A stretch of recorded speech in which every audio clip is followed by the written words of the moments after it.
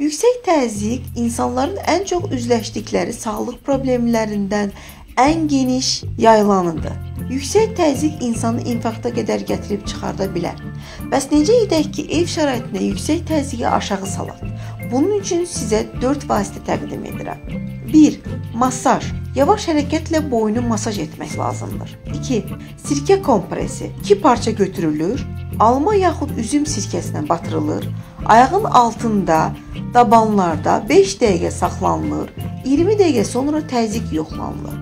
Təzyiq düşməyibsə, yenidən təkrarlanılır. Quş üzümü şirəsi. 100 milli şirəyə eyni miqdarda bal qatılır. Balaca qaşıqla gündə 3 dəfə qəbul edilir. Bu xroniki təzyiqə çox yaxşı effekt göstərəcək. 4. Xüsusi nöqtə. Qulağın sırğa yerindən çiyinin körpücük yerinə kimi olan düz xətti barmaqla yavaş-yavaş masaj etmək lazımdır.